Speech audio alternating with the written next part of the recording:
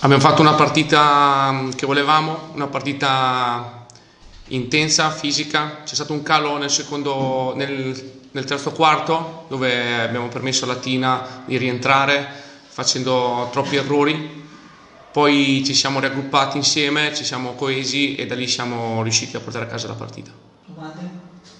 Sì, una, cosa, una considerazione rapidissima, questo vi giocherete tutto da io penso, visto anche la partita di stasera, la differenza con Latina penso sia stata evidente a livello proprio tecnico, il nostro Piozinoli mi è sembrato superiore, più profondo.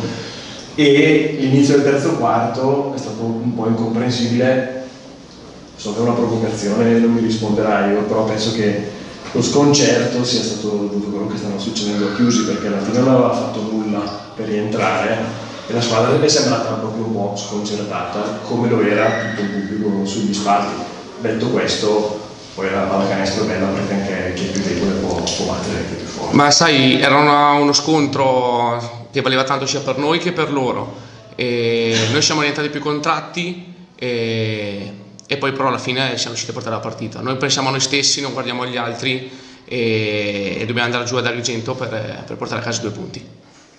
E niente, nel terzo quarto eh, siete passati dal più 12 al meno 4, gli poteva diventare complicata la situazione, invece, invece avete reagito da squadra compatta e da grande squadra perché ha subito un 6-0 ma soprattutto più 15 finale.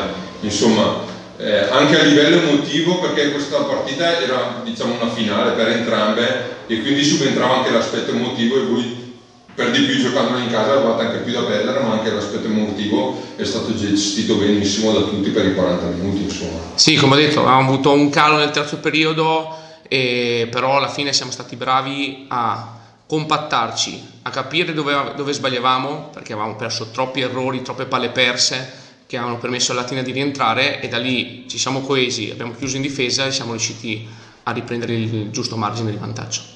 Adesso si passa da una finale a uno spareggio perché di fatti eh, è quasi incredibile, chi, sembra che qualcuno abbia studiato la sceneggiatura perché ci sarà un Agrigento eh, Orzinuovi e un eh, Casano Monferrato eh, contro Chiusi, quindi sono due spareggi e ci si gioca tutto negli ultimi 40 minuti come per non anticipare troppo il pregare però come li affrontate anche questa settimana e questa partita insomma.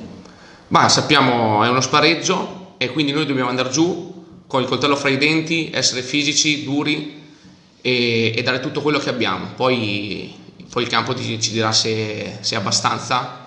Noi ci crediamo e quindi noi andiamo giù per provare a portare a casa i due punti. Ecco, ultima cosa. Eh niente su Basile, anche la sua importanza anche a difesa, quanti rimbalzi ha strappato in difesa, che magari chi non ha un giocatore così fisico e così pronto rischia anche di farsi prendere tanti rimbalzi in attacco, invece lui in un modo o nell'altro ne ha tirati giù una valanga, quindi anche la sua importanza, cioè ha giocato praticamente tutta la partita, oltre a quello che fa in attacco, anche in difesa queste situazioni che magari non sono così eh, evidenziate, a, a volte però sono molto importanti. Insomma. Sì, Grant è un giocatore fondamentale per il nostro gruppo e sì, in attacco sappiamo quello che può dare, ma tutto passa da quello che, che può fare in difesa. Ha avuto un periodo in cui non è stato bene giocando senza mai allenarsi e adesso sta bene e i risultati si vedono.